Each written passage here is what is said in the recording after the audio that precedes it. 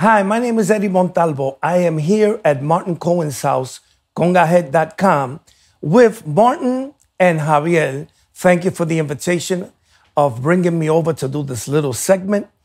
I am going to demonstrate the Pedro Navaja beat that I did in that album in 1978, the Siembra album that sold the most in the South America, New York, Puerto Rico, Peru, Venezuela, etc., etc. All the countries. That was the famous album, the Siembra of Ruben Blades with Willie Colon, and the famous Pedro Navaja